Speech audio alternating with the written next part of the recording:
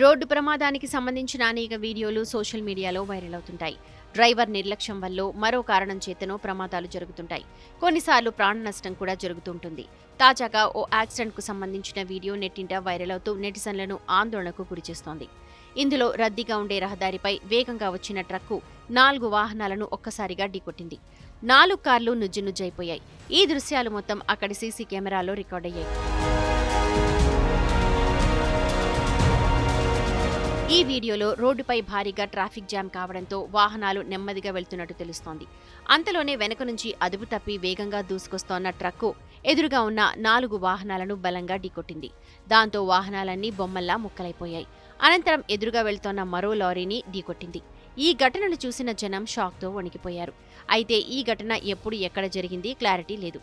కానీ నెట్టింట వైరల్ అవుతోన్న ఈ భయానక వీడియో చూసిన ప్రతి ఒక్కరూ షాక్ అవుతున్నారు.